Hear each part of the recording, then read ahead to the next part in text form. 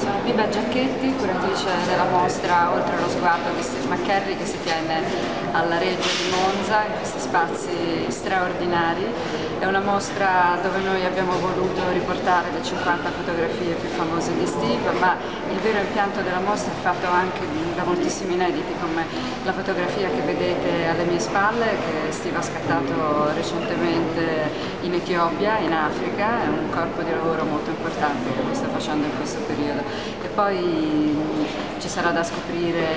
eh, oltre a questo, tutti gli affacci, eh, le prospettive di Steve, i muri di Steve, ci sono moltissime foto inedite e speriamo che veramente questa nuova selezione trovi il piacere delle persone che hanno visto le altre mostre di Steve e che ci seguono con, tanto, con tanta passione. Grazie.